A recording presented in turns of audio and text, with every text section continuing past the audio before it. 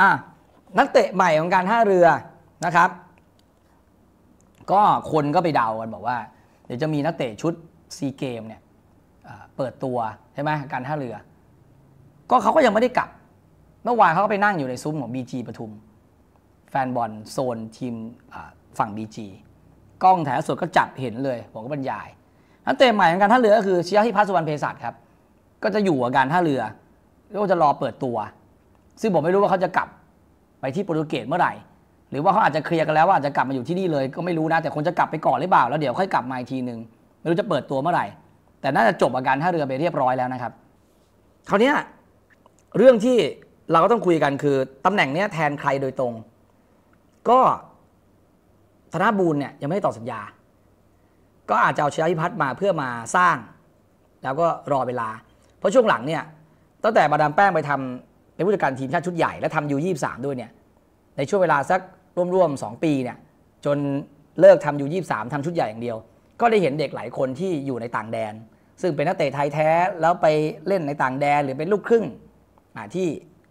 กลับมาเล่นให้กับทีมชาติไทยชยาธิพัฒน์ก็คงจะมาแทนที่ตำแหน่งนี้ของธนบูรณ์ซึ่งธนบูรณ์เนี่ยเดี๋ยวผมตามให้ว่าจบกับทีมไหน เพราะว่าก็มีโอกาสที่ธนบูรณ์อาจจะอาจจะย้ายเลย นะครับในตลาดรอบนี้ เพราะว่าจริงธนบูรเนี่ยเท่าที่ฟังสัญญารู้สึกว่าธนบูรจะเล่นได้อีกเล็กนึงนะจะเล่นได้อีกเล็กเนี่ยการท่าเรือ แต่ถ้าเกิดว่าสมมุติว่าเคลียร์กันได้แล้วธนบูรคิดว่าท่าเรือจะไม่ได้ตอบโจทย์เรื่องของการต่อสัญญา ซึ่งมันไม่ลงตัว ซึ่งอันนี้เดี๋ยวจะเล่าให้ฟังว่ารายละเอียดมันเป็นยังไง ก็ตามวิถีฟุตบอล แล้วทีมสนใจธนบูรเยอะไหมเยอะแน่นอนครับ ด้วยประสบการณ์ของเขา ฟอร์มอาจจะไม่ได้อยู่ในช่วงพีคเหมือนก่อน แต่ก็เป็นอีกหนึ่งคนที่ สามารถย้ายไปแล้วใช้ได้เลย ส่วนชาติพัฒน์เนี่ยเอามาก็ต้องยอมรับว่า ถ้าจะเบียดกองกลางตรงนี้นะ ผมว่าท่าเรือเนี่ยชับปุยก็น่าจะไม่อยู่ ในมุมในมุมผมนะ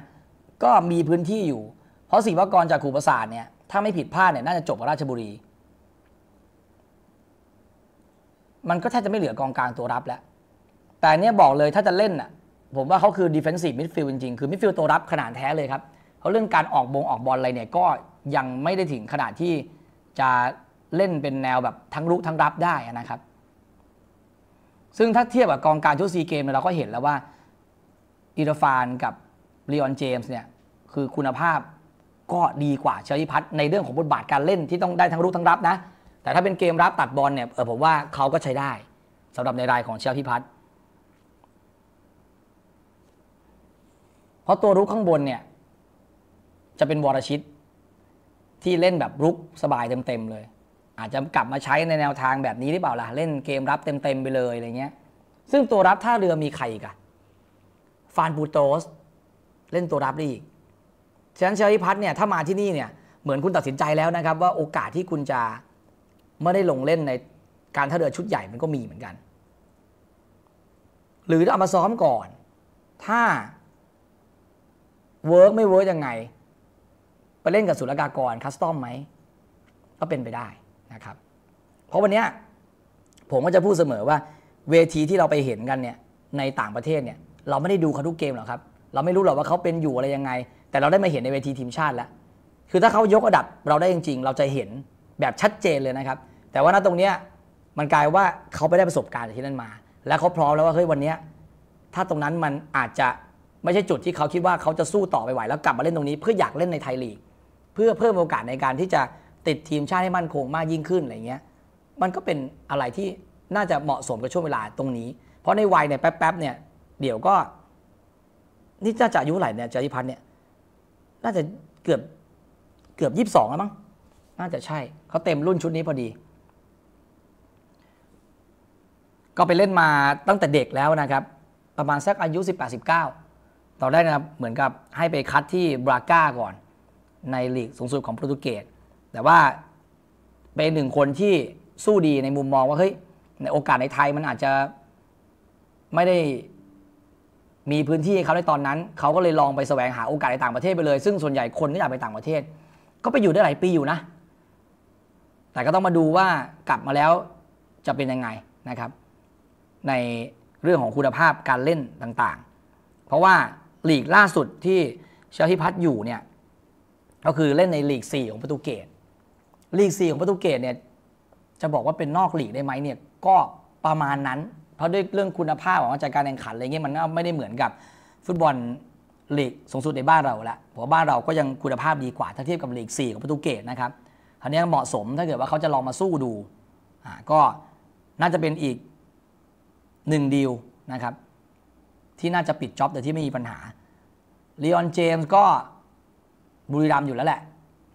เพราะว่าถ้าเล่นกับอิรฟานเนี่ยดูแล้วเข้าขาผมว่าเออภาพมันค่อนข้างชัด ชยพิพัฒน์ก็มาท่าเรือ เอออีกหนึ่งคนวิลเลียมไวเดอร์เชออันนี้คือดีลสำคัญที่ผมคิดว่า ไม่รู้ว่าจะถามเท่าไหร่เหมือนกัน แต่ว่ายังหาทางออกไม่ได้นะวิลเลียมไวเดอร์เชอเนี่ยแล้วผมคิดว่าน่าจะมีหลายทีมที่อยากจะติดต่อเขาให้กลับมาเล่นเหมือนกัน แต่สัญญายังมีกับท่าเรือครับ ก็ต้องมาคุยกันอีกทีหนึ่งว่า เขาจะตัดสินใจยังไง อยากจะเล่นที่ต่างประเทศไหม กลับมาเล่นที่บ้านเกิดสวีเดนไหม หรือว่าอยากจะกลับมาเล่นที่ไทย แต่อาจจะไม่ใช่การท่าเรืออะไรเงี้ย หรือการท่าเรืออาจจะคุยว่าจะไปเล่นศุลกากรไหม Custom ไหมอะไรเงี้ยนะครับ เรื่องนี้ไม่รู้ตื้นลึกหนาบาง แต่รู้เพียงแค่ว่ากลับไปเนี่ยก็คงมีประเด็นกันนิดหน่อยนะครับกับสโมสร ซึ่งตรงนี้เดี๋ยวก็ต้องรอดูว่าเขาจะเคลียร์กันลงตัวไหม แต่ผมคิดว่า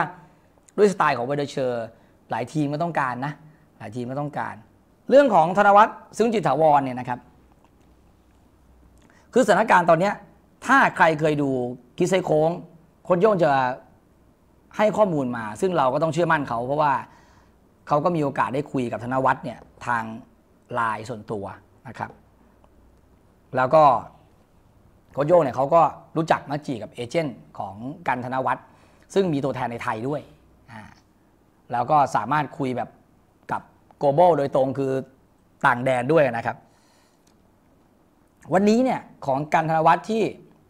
ไม่ว่าใครจะไปบอกว่าต้องกลับมาที่บุรีรัมย์หรือว่าจะกลับมาเล่นในไทยเนี่ยเป้าหมายส่วนตัวนะ เอาของกันธนวัฒน์เป็นที่ตั้งก่อน ตัวของกันเองเนี่ยยังไม่ต้องการกลับมาในเมืองไทยตอนนี้นะครับ ซึ่งเป็นมายเซ็ตที่ผมชื่นชมและบอกว่าดีมากๆสำหรับคนที่มีโอกาส ไปเล่นในเวทีที่แกร่งแล้วก็ใหญ่กว่าบ้านเรา ไม่ว่าจะดีกว่านักเตะไทยหรือไม่ดีกว่า อันนั้นผมไม่รู้ แต่ผมรู้แค่ว่า ถ้าเขาไม่เจ๋งจริงเขาก็คงอยู่ไม่ได้มาถึงจุดนี้ จนมีโอกาสที่เลสเตอร์จะมองเห็นแล้วเซ็นไปนะ แต่ปัญหาใหญ่ของธนวัฒน์ตอนนี้คือ เขาบาดเจ็บ แล้วเขาต้องการเกมในการลงเล่น ซึ่งร่างกายเขาเนี่ยมันเกิน 90%แล้วถ้าใครดูในช่วงที่ผ่านมาในคิดไซด์โค้งเราก็จะบอกเสมอว่า โค้ชโย่งยังติดตาม สารทุกข์สุกดิบของกันธนวัฒน์อยู่ตลอด สัญญาของกันธนวัฒน์เนี่ยต้องพูดตอนที่เลสเตอร์ยังไม่มาถึงจุดนี้ครับ จุดตอนที่จะต้องมาลุ้นหนีตกชั้น รอดแรงไม่รอดแรงถึงนัดตรงนี้ในช่วงโค้งสุดท้ายของพรีเมียร์ลีกถ้าเลสเตอร์ อยู่ในจุดที่รอดตกชั้นไปแล้วนะ สบายๆนะ ไม่ใช่เหมือนตอนนี้เนี่ย ธนวัฒน์จะได้ต่อสัญญาอีกหนึ่งปี ถ้าใครดูคลิปต่อเนื่องของคิดไซด์โค้งเนี่ยเราเคยพูดเรื่องนี้ไปแล้วนะครับ ซึ่งมันมีการพูดคุยกับเลสเตอร์มาก่อน เพื่อเป็นการตอบแทนว่าไอ้ช่วงที่ธนวัฒน์ไม่ได้เล่นเนี่ยมันเกิดจากการบาดเจ็บ แล้วแน่นอนเป็นคนไทยแท้ๆด้วย ทางเลสเตอร์ก็อยากเห็นคนไทยได้เล่นกับทีมของเขา ก็เลยคิดว่าเดี๋ยวจะต่อสัญญาให้ แต่อาจจะไม่ได้ใช้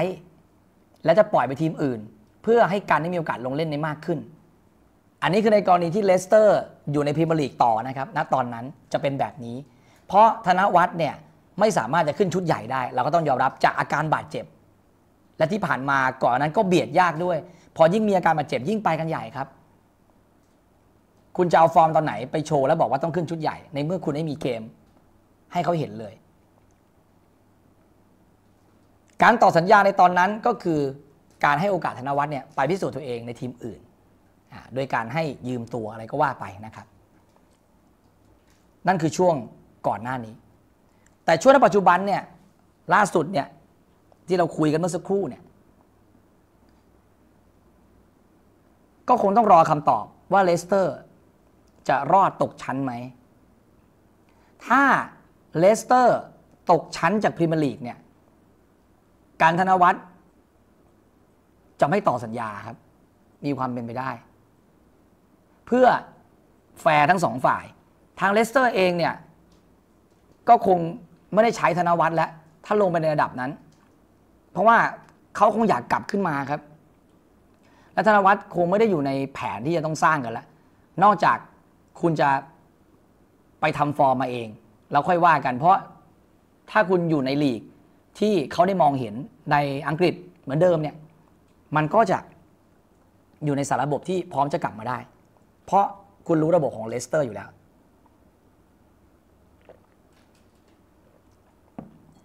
ล่าสุดน่ะเขาได้ต้องมองให้มันครบทุกมิติ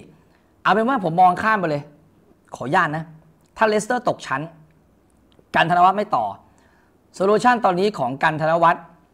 มี offer มาแล้วนะครับ ขอเพียงแค่ไม่ต่อนะ ซึ่งจริงๆอะ มันก็ไม่ได้ต่ออยู่แล้ว เพราะว่าณตอนนี้มันยังไม่ได้เซ็นอะไรเพิ่มเพราะสัญญาของการนำหมดอยู่แล้วอสองทีมที่มีโอกาสจะได้เข้าไป แล้วยื่น offer เข้ามาคือเบอร์มิงแฮมซิตี้และก็โคเวนทรีซิตี้ซึ่งเคยเป็นสองทีมที่โลดแล่นในพรีเมียร์ลีกอังกฤษอยู่ช่วงหนึ่งเหมือนกันนะครับ ข่าวที่จะกลับไปที่ฝรั่งเศส ก็อาจจะยังไม่ใช่ตอนนี้ แต่ถ้าเกิดว่าไม่จบที่อังกฤษจริง ๆ ฝรั่งเศสจะเป็นทางที่การธนวัฒน์ยังได้กลับไปแน่นอนครับ ไม่ว่าจะเป็นลีกไหนก็ตาม ฉะนั้นการกลับมาที่ไทยผมว่ายังไม่ใช่เวลาณตรงนี้ แต่ถ้ากลับไปที่ฝรั่งเศสค่าเหนื่อยของการธนวัฒน์จะหั่นน้อยลงไป เกือบครึ่งแน่นอน เพราะลีกที่การธนวัฒน์จะไปเล่นคงไม่ใช่ลีกเอิงฝรั่งเศสจะต้องเป็นพวกลีกเดอร์ซึ่งลีกเดอร์เนี่ยคุณก็ไปดูเคสของเหงียนกองหายก็ได้ ค่าเหนื่อยก็ไม่ได้เยอะครับ ไม่ได้เยอะ เพราะเงินเดือนสูงสุดอย่างในทีมของเหงียนกวางไห่เนี่ย Pau FC เนี่ยเงินเดือนสูงสุดเนี่ยอดีตกองหน้านิวคาสเซิลนี่ผมเคยทำเป็นคลิปไปให้เนี่ยเงินเดือน 5 5 0 0 0 0 บาท ซึ่งเหงียนกวางไห่ไม่ได้ถึงแน่นอนครับเพราะดีกรีขนาดนั้นเนี่ยจะได้เงินเดือนเท่านี้เหงียนกวางไห่ไม่ใช่นักเตะระดับจักรวาลขนาดนั้นครับคือก็เป็นนักเตะเวียดนามที่ไปโต ไปฝังที่ยุโรป แล้วก็พิสูจน์ตัวเองไม่ได้เพราะไม่มีโอกาส การธนวัฒน์กลับไปเงินเดือนผมว่าก็จะไม่เกิน3ถึง4แสนบาทที่นั่น ซึ่งผมว่ามันเป็นไปได้ยากมาก เพราะการธนวัฒน์ยังไม่มีเวทีในการเล่นพรีเมียร์ลีกอังกฤษเลย แต่มีชื่อในระดับลีกรอง เป็นเยาวชนทีมชาติของฝรั่งเศสเอออันนี้ก็อาจจะพอมีสตอรี่ที่จะไปไปเล่นที่ฝรั่งเศสได้ ถ้าไม่ได้อยากกลับมาเล่นที่ไทย และจะไปเล่นในยุโรปที่อื่นแล้วเงื่อนไขไม่ลงตัวฝรั่งเศส จะเป็นพื้นที่สุดท้ายของธนวัฒน์แน่นอนเฮ้กลับมาที่อังกฤษนะครับ โคเวนทรีกับเบอร์มิงแฮมเนี่ยก็ดูเงื่อนไขอยู่ ซึ่งธนวัฒน์ต้องการโอกาสกลับมาลงเล่นเพราะเป้าหมายของเขาคือเขาอยากเล่นในอังกฤษครับ และด้วยชื่อของธนวัฒน์ก็ยังพอมีทีมที่สนใจอยู่แล้วครับ จากผลงานที่เล่นในระดับเยาวชนของเลสเตอร์ ก่อนหน้านี้ก่อนที่จะเจ็บนะครับคือเขาก็มีโอกาสลงเล่นเป็นตัวหลักอยู่บ้างเหมือนกัน ก็ต้องไปดูว่า เบอร์มิงแฮมกับโคเวนทรีโอกาสของใครจะดีกว่า ในการได้ตัวกันธนวัฒน์ซึ่งเรื่องเงินมันอาจจะเป็นปัจจัยรองแล้วมันจะเป็นเรื่องของโอกาสในการลงเล่นที่กันธนวัฒน์เนี่ยน่าจะต้องการ เพราะฐานเงินเดือนของธนวัฒน์เนี่ยถ้าผมจำไม่ผิดเนี่ยน่าจะได้ประมาณสักหกแสนบาทนะครับ ซึ่งถ้าเป็นแบบนี้ในระดับอังกฤษเนี่ยผมว่าจ่ายกันสบายๆ ไม่ได้ยากจนเกินไป